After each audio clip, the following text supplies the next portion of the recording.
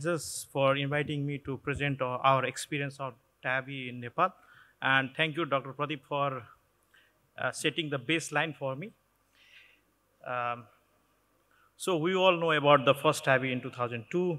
Let's see, TAVI in South Asia, it was first started in India in 2011, followed by in Pakistan, it was in 2015. Bangladesh, congratulations to you. You started pretty early in 2017, July. And in Sri Lanka, it was in 2018, September. Afghanistan, uh, they did their first TAVI in 2020-21 and Maldives 2022 February. And uh, we did only on 2022 February. We are the last South Asian country to introduce TAVI. Uh, but we are almost, apart from India and Pakistan, we are almost on the same level. I'll share it in my experience. So are we doing enough TAVI? Just like this example. This is the data from the this uh, left-hand side, India valve disease statistics. They, based upon the same uh, percentage, actually we should be doing quite nearly 5,000 5, TAVI in Nepal. But the thing is, we have done only 28.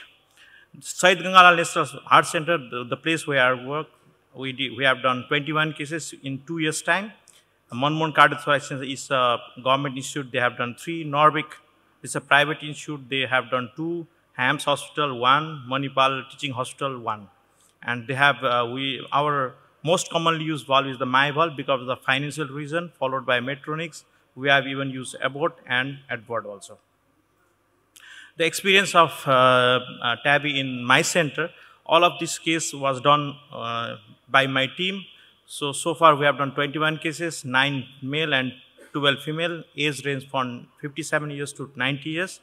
We have used uh, Myval in most of our cases, followed by Evolut, Medtronics, and Abbott two cases, and Sapien one case. So this is the first case we have done in February 2022, 81 years old female, diagnosed as severe AS, was offered surgery in the private hospital and patient relative googled about the TAVI and they came to me and asked for TAVI. They asked me whether you can do a TAVI on my mother or not. So we evaluated the case, case and we did the uh, TAVI with the Evolut platform and she came for two years follow-up recently and she's doing pretty well. So after the first TAVI, news of the first TAVI in the country was well covered by the TV, press and social media. So we get referral from outside Kathmandu.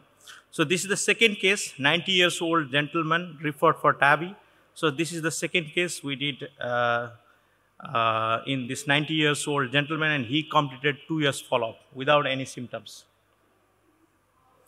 And this is the case number three, 76 year old male COPD admitted in other private hospital. There was the ECG change. He was admitted, because, admitted in that hospital because of the pulmonary edema this was the ECG. The uh, ECG, maybe it's a recent MI or old MI. And uh, they have mentioned, on the right hand side, you can see explain about the tower They advise him for CABG and AVR because he had some lesion.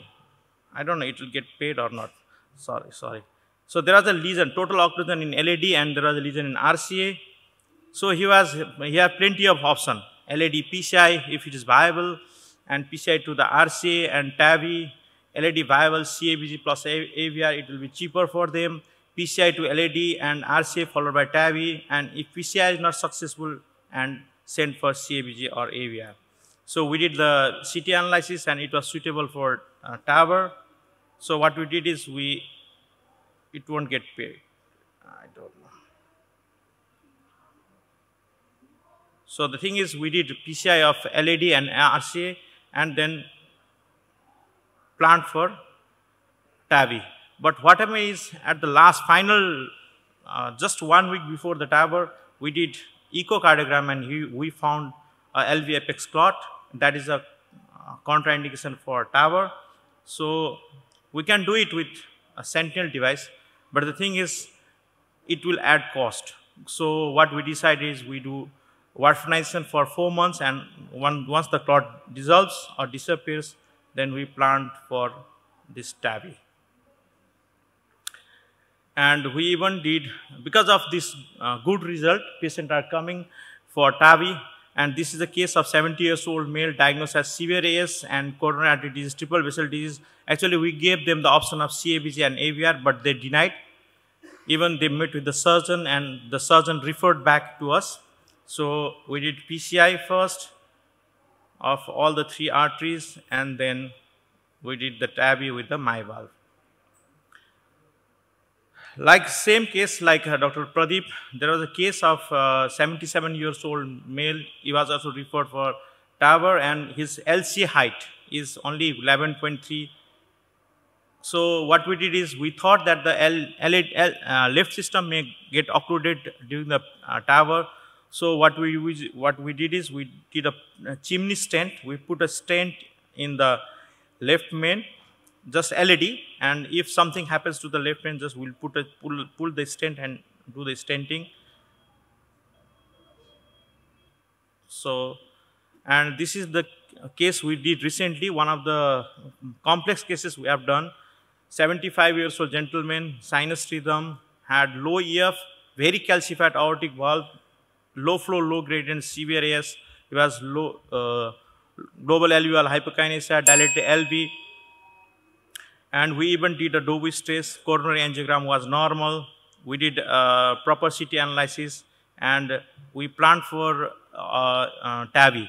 You can see in the annulus, in the CT images in annulus, it was calcified and the, cal the calcified, uh, calcification even extend into LVOT and you can e even see in the fluoro images the calcium. It was a horizontal aorta so it was a challenging case because it's a, it's a bicuspid aortic valve. It has a lot of issue. Annular calcification extending into LVOT, it can cause annular rupture, PVR and pacemaker.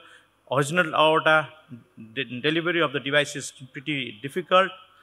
We can choose a TAVI valve based upon, in this case, because of the horizontal, we should go for a balloon expandable TAVR. But the thing is, there is a, a aortic annulus calcification, then the choice will be uh, self-expanding valve. We went for a balloon expand, uh, expandable valve. We did a, so this is the result and he ended up with a mean gradient of 3 milliliter mercury. Complete, uh, he completed two months of follow-up follow and he's doing pretty well. So how TAVI started in Nepal? We came to know about from, uh, being done in the Southeastern country. As you know, we are the last to start and a lot of talks on TAVI at different conferences. We came to know about the few patients went abroad for TAVI, especially they go to India.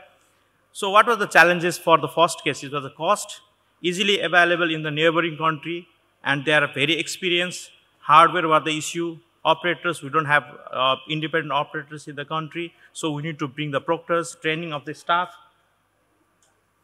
So easy accessibility of the experience center in neighboring country is the real challenge, expertise and low level of experience compared to the uh, center nearby and the cost of the therapy.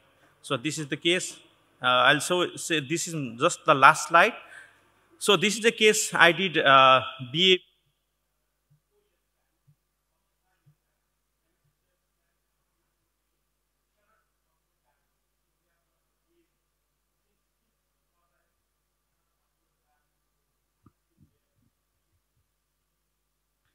So, Dr. Chandraman, you are, uh, your time is over.